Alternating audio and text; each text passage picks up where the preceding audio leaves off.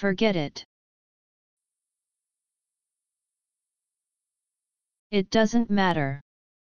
Used a conventional reply to an expression of gratitude. I don't want to continue with this conversation, usually used in frustration or anger.